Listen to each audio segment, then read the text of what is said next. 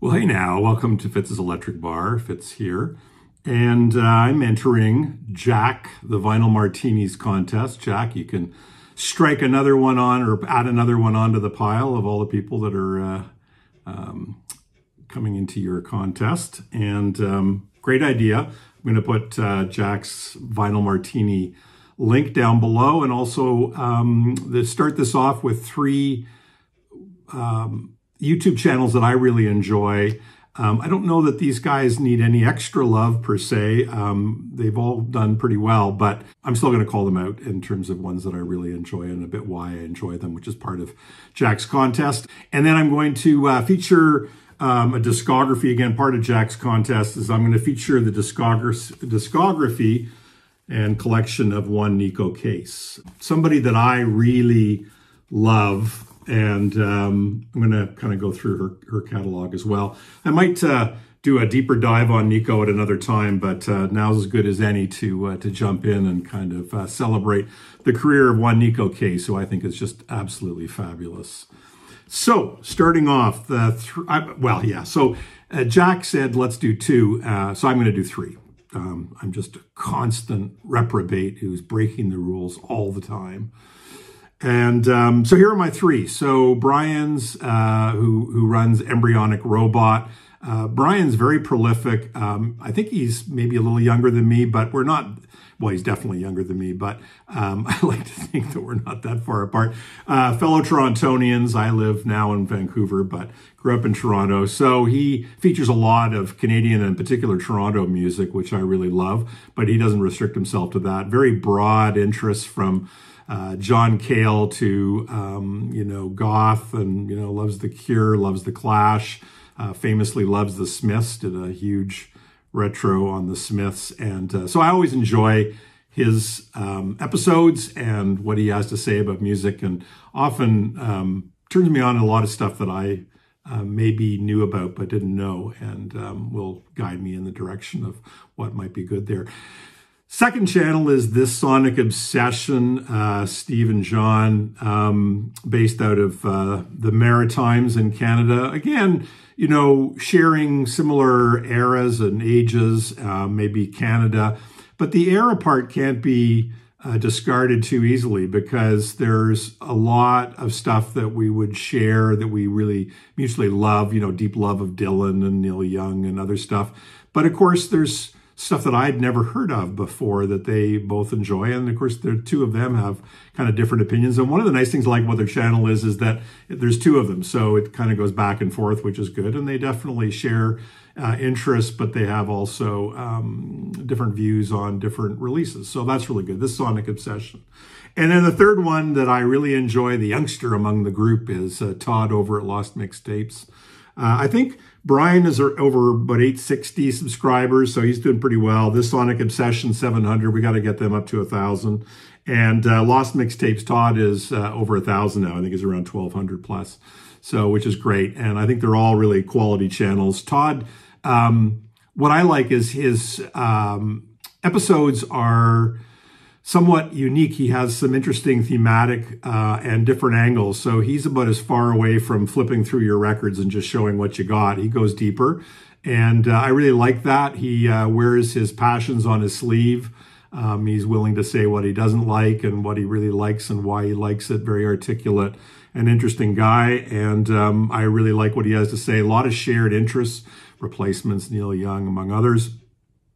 Um, but uh, again, a lot of stuff that I um, haven't heard or didn't know about and has led me down a path to start to uh, check out some of that music. So Lost, Mixtape, Lost Mixtapes, again, those three channels I'll put down below. So we're already at four minutes and I haven't even started my discography on Neko Case. So here we go. Um, I first discovered Neko Case with her first record. She came out with a couple records of Neko Case and her boyfriends. And um, this record was the first time I think I ever heard the song Duchess, which is the Scott Engel, aka Scott Walker song. And later I heard Scott Walker. I don't know what was the first one that really hit me over the head. And I've become a massive Scott Walker fan. Just love his vocals, his kind of some of his earlier stuff is a bit schmaltzy in the best way, which again, Richard Hawley and other artists like that that I really like. Some of uh, Elvis's Memphis stuff and things like that. Um, but this record, yeah, it's got Duchess uh, again, Scott uh, Walker. Uh, this was the just a, a, a great like they She's referred to as country noir, and I think that is a really, really good way of describing Neko Case because some of it sounds a little bit like something off of Twin Peaks, a little bit of Chris Isaak.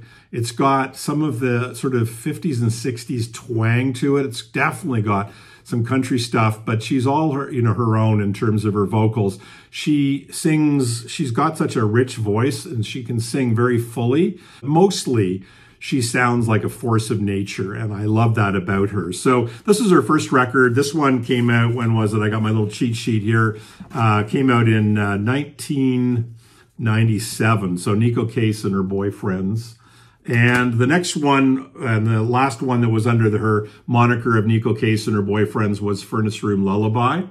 Uh, this particular one. And um, these are all on Mint Records. Mint Records is a Vancouver-based label. Um, Neko Case lived in Vancouver for a while. She came to Vancouver to go to the Emily Carr Institute of Art and Design. She didn't finish it, but she was in uh, punk bands here, Maow and um, Cub and then kind of went down another path. She had to leave when she didn't finish her degree. Thank you, Wikipedia, for a little background information. I won't bore you with what you can find on Wikipedia, but I like to create a little bit of context. And she also, you know, in her time in New York, got to know the members of the New Pornographers and became a member of the New Pornographers. And I've got a quote here before I go on to her discography that I think is great. Dan Bejar, who's the uh, member of New Pornographers and the leader, uh, kind of um, main man of Destroyer. I mean, he is Destroyer, basically. This is his description of Neko's music that comes in the uh, Wild Creatures Greatest Hits that came out in 2022. So Dan says, Neko's approach to arrangements and ambience is equal parts melodic and jarring, and I'm always surprised by the turns they take. It is fearless music. It is urgent art, maybe the most urgent body of songs of the last 20 years. That's a bold statement, but she's in the running. We make a mess of ourselves and others and the earth, and Neko sings these incredibly eloquent odes to that fact. Um, and there's another quote here, which I'm just going to read briefly, and it's David Byrne, and he's a big fan of Neko Cases as well. And one of the things he says is that her songs seem driven by the character and their stories and situations. So it's not a verse, cor- verse, verse, chorus kind of thing. Sometimes the song is guided by the story more than the usual verse, chorus, verse structures we might be used to. We, the listener, have to imagine ourselves as that character. When we do, what might seem at first impressionistic is in fact very straightforward and descriptive. She does, she creates these great atmospheres and moods.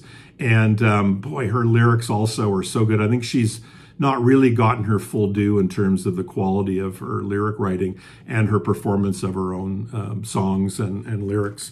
This one is uh, her third record, and this is just called Canadian Amp. This is actually a hard thing to get now. Um, this came out on a separate label, I think. I don't think this was Mint Records, but um, Lady Pilot, which I think is maybe her publishing company. It's the name of one of her songs as well. Note the fox there. She's got a theme of fox or deer in a lot of her album artwork, which is kind of interesting, especially animals. If you ever go to her Instagram account, she's clearly very inspired by and very connected to animals, horses and other animals and cats and things like that. Um, this is great. This is mostly covers of Canadian artists and includes Dreaming Man by Neil Young. There's a song called, here called In California, and I don't know who the author of the or the writer of the song. It's a gorgeous song, and one of the lines in it is uh, they say it's beautiful when it rains in California um, which until recently didn't happen a heck of a lot. Um, can't even get this on the, the uh, streaming services, unfortunately, but I, I really like this record. So then she kind of went solo, as it were, and came out with Blacklisted. Um, and that's uh, when she really got, uh, you know, given the country noir um, term. And this one has Deep Red Bells on it, which is a well-known song of hers. Uh, and it's a it's an excellent record as well. Uh, this particular one, she was some of the people she's played with. She's played with M. Ward, uh, has played on some of her music. Uh, the Sadies back her up. This and this album, which came out, uh, what was this? Um, the Tigers Have Spoken, and this was a live recording, and this came out in 2004. And um, this is with the Sadies backing her up, apparently recorded in Chicago and Toronto. I wonder if it was at the old Horseshoe Tavern, but uh, it's a really good record. And then what I think is her best record, the one that I really, really love, is Fox Confessor Brings the Flood. Um, this is an outstanding record. So this this record's got some of the songs on this one, uh, Hold On, Hold On, um, Star Witness, and one of my favorites, Magpie to the Morning.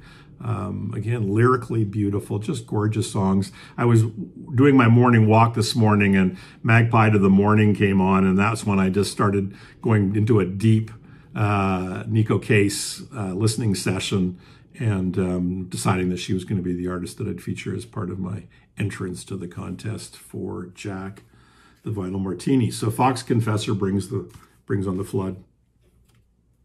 Um, next one, Middle Cyclone, quite the cover there. And um, final one that I have of hers, this isn't her final one, but the final one I have of hers is um, Hell On. No, is uh, uh, the worst things get, the harder I fight, the harder I fight, the more I love you. And again, more, you can see the, the nature around Neko Case. She's clearly a woman who loves nature and animals and I do not know this record that well. I was just thinking, it's like I just ordered this from Amazon and it just arrived because this was one that just somehow came in and I didn't give it a listen. And I'm going to be um, making that a top priority. So um, that's my artist um, for the contest. And again, Neko Case, this is a greatest hits record. So this is the only thing I have on vinyl. I got everything else on, uh, on CD. Uh, but this is great. It's got all the songs that I mentioned with the exception of Magpie to the Morning, but uh, it's a wonderful collection of greatest hits, and I wanted to have some of her stuff on vinyl. Her sound, that country noir, a little bit Americana or whatever, I've, I've often thought that although her music is beautifully produced, I think Darryl Neudorf um, has done a lot of the production, who's a Canadian producer and musician, but um, I would just love to hear an album of hers with uh, production by either T-Bone Burnett or Daniel Lanois. Um, her music just really screams out for that kind of level of production and um, and arrangements of her music. So uh, maybe one day, Neko Case, three channels, and top of the hat to you, Jack, and uh, hoping you get your uh, you reach your target for uh, subscribers. Carpe diem.